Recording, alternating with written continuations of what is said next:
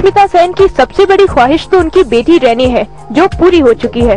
लेकिन वो बनी सबकी ख्वाहिश जब उन्होंने किया रैंप वॉक बिल्कुल एक राजकुमारी की पोशाक में। ज़ाहिर है इसके बाद सुश के चाहने वालों की लिस्ट और ज़्यादा बढ़ गई होगी।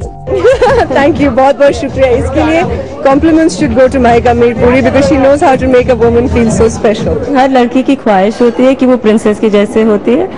और so that is why my theme is called ख्वाहिश। so she dresses like a princess feels like a princess और वो बेसिकली प्रिंसेस है डिजाइनर महिका मिर्पुर